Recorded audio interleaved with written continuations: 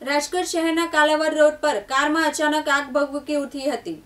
બનાવમાં કાર ચાલકે સમય સૂચકતા વાપરી સ્વ બચાવ કર્યો હતો. જો કે આગના કારણે ટ્રાફિક પોલીસે પણ સિગ્નલો ખોલી તમામ વાહનોને જવા દીધા હતા. રાજકોટ શહેરના કાલાવડ રોડ પર કેકેવી સર્કલ પાસે કારમાં અચાનક આગ ભભૂકી ઉઠી હતી. આથી ચાલકે સમય સૂચકતા વાપરી બહાર નીકળી જતા તેનો બચાવ થયો હતો. કારનો ચાલક ટ્રાફિક સિગ્નલ ખુલવાની રાહ જોઈ રહ્યો હતો, પરંતુ આગને કારણે ટ્રાફિક પોલીસે પણ સિગ્નલ ખોલી તમામ વાહનોને જવા દીધા હતા.